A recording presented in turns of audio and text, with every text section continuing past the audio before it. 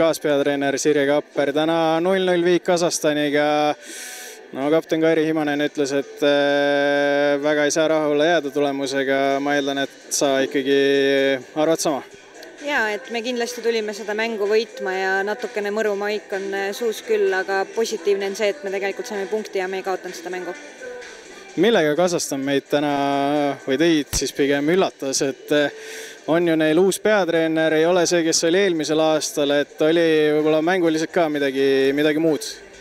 natukene küll, et need ruumid, millega me olime arvestanud, et nad meile jätavad, mida me saame rünnata, olid hoopis kuskil mujal, et poolajal küll tegime oma korrektuurid, aga aga ma arvan, et niisugune Rahvuste Liiga esimese mängu närv sai, tegi ka oma töö, et, et, et selles suhtes jah kui raske oli Kasahstani mänguks üldse valmistuda, nad ei olnud ju pärast eh, teie kaks-null võitu võõrsilt eh, vähemalt ametlikel andmetel ju ühtegi mängu pidanud, et eh, pidi ikkagi ju päris, päris raske seda kodutööd teha olema, et kas te tegite eelmise aasta mängude pealt või, või, või kuidas?